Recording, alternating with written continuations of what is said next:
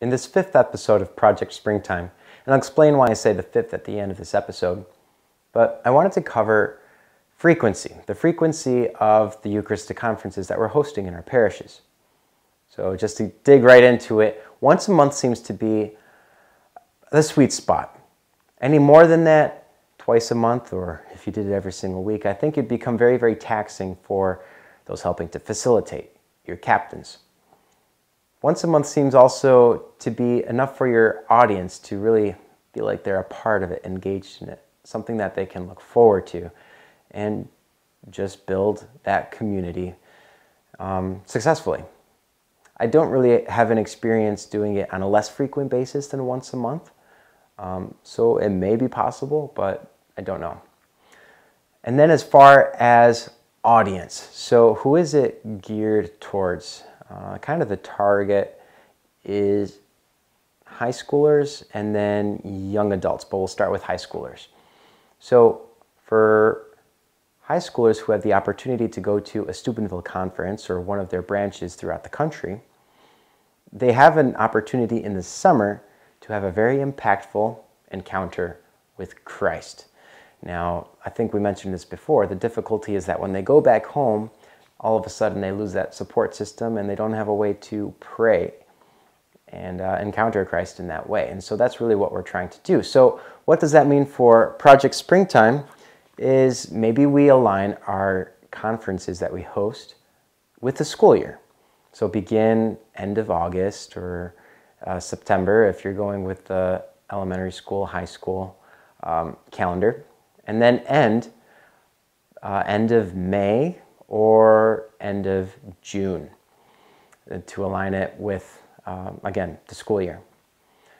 That gives the opportunity during the summer to take a break, which is not something that um, our teams have experienced because we've always uh, pushed through the summer. Uh, we always looked forward to having one outside, which is still something that I think is worth considering Maybe that could be done in September. September is a perfect month because August, oftentimes there are big storms that'll just come out of the blue because of the summer heat and sun.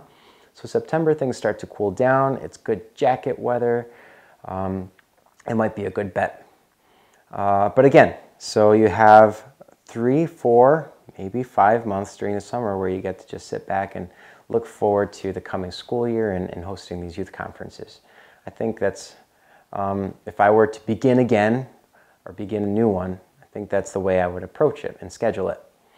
Now, uh, looking at young adults. So, I wanted to explain to you and share with you uh, Preach Christ. And one of the initial hopes with these Eucharistic conferences was um, you know, young adults are, look for these types of experiences. Uh, something that's not just, and I want to be careful saying that, but not just the Mass, but something they can really engage in and feel like they're a part of a community, um, maybe um, hear a message that is catered more particularly to their age group, so um, maybe even challenging. And that's why sometimes I mention fire and brimstone from uh, just as a way for your speaker to approach their talk. Something that really strikes a chord in them. Um, so, Preach Christ was an initiative that I began in 2017. And for three years, I wanted to experience it myself.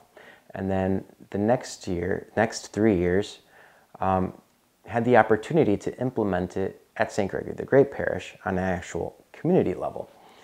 So, what is it? It is a, a way to focus and root your identity in Christ.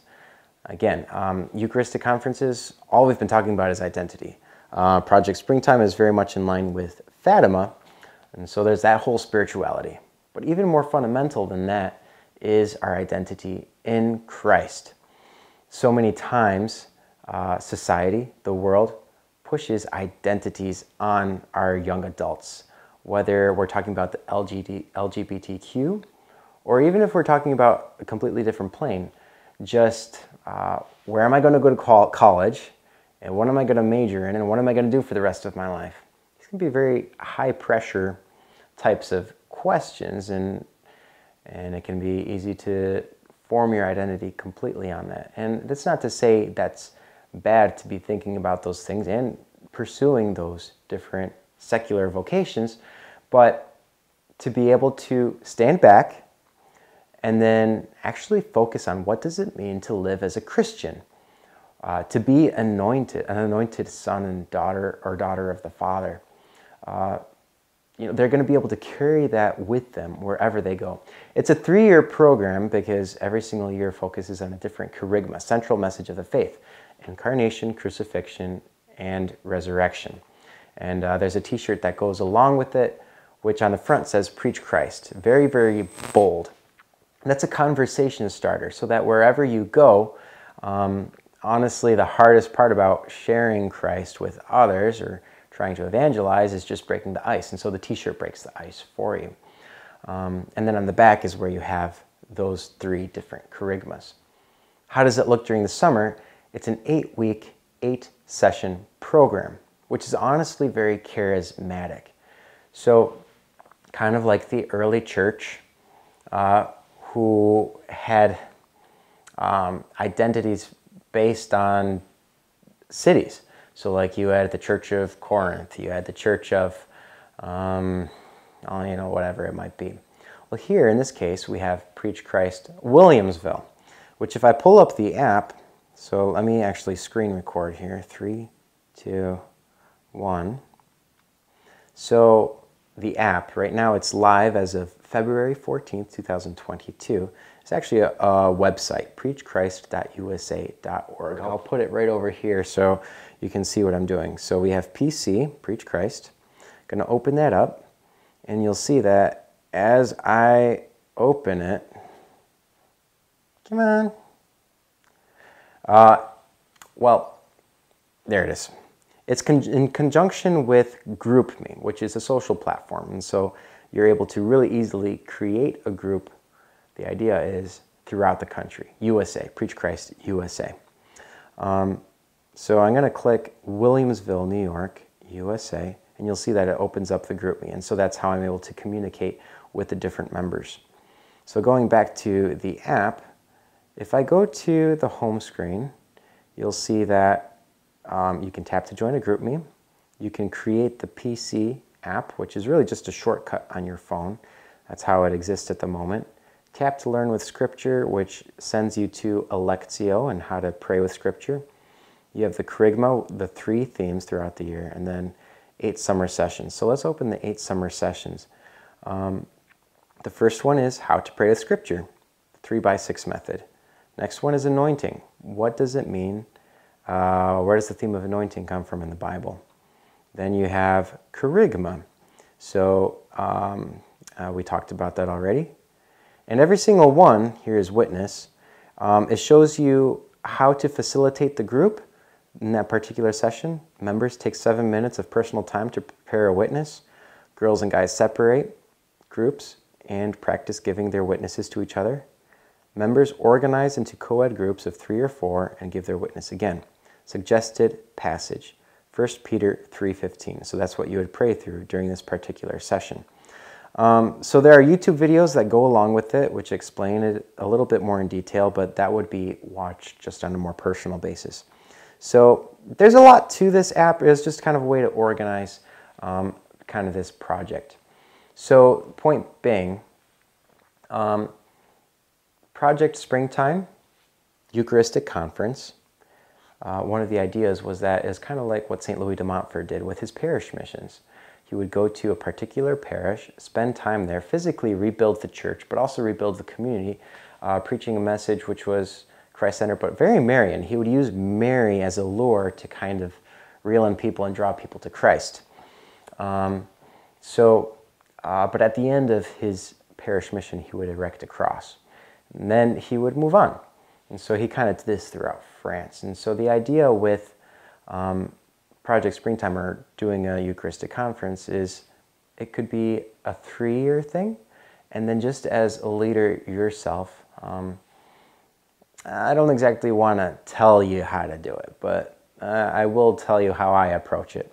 Is that three years, you're able to really um, build the community, um, and uh, and then possibly move on. And then just like in the New Testament, where the Pharisees, uh, where one of them says, you know, if it's of God, it will continue. If it's not of God, it will not. You know, I think that's important to be able to step into something, but then also to be able to step away and let others people rise to the occasion. So that can be an approach that you take as a leader. Um, maybe rising up to the role of leadership, uh, and then maybe not even going somewhere else to start a new one, but then just stepping down and allowing someone else to rise up. So that can be something to keep in the back of your mind. Uh, but in conjunction with Preach Christ, you're forming these very intentional, almost modern apostles. And how much in line and how cool is that? That uh, uh, just going in line with the whole Project Springtime initiative, um, forming modern apostles. Um, so I, I, guess I'm starting to go in circles here. I've pretty much said what I needed to say. Um, so Project Springtime is also a an album, a music album, and uh, I was able to successfully print 3,000 of them. The music is also available digitally, whether it's on Spotify, Apple Music, or wherever music is sold or listened to, streamed. Um, but then these 3,000 are things that I'm still trying to figure out exactly how to give away. Um, one of the things I think is it'd be a really great fundraiser for World Youth Day, and so that's what I have in the back of my mind.